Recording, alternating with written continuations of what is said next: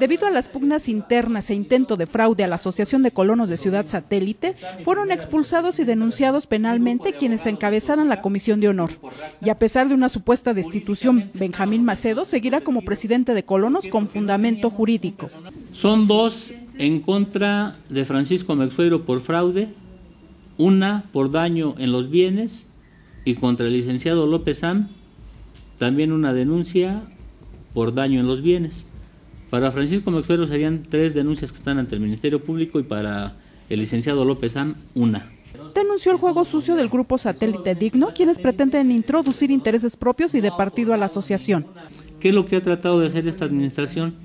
De alguna manera marcar esa línea y que quede perfectamente delimitado que venimos a hacer una representación vecinal, que no somos políticos, que esta asociación sigue y deberá seguir siendo apartidista porque no podríamos nosotros vencernos para algún lado, para un color y poder representar dignamente a nuestros vecinos.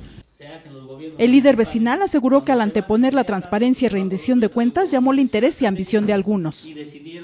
Que esto puede ser un negocio para algunos, porque todos pensamos de manera diferente y empezaron los embates, que también, como lo dijo acertadamente la periodista a la que le contesto, esto no es nuevo, se da cada que una representación vecinal va a terminar porque quieren adecuarse para ver quién es óptimamente el que viene y le convenía la comisión de honor.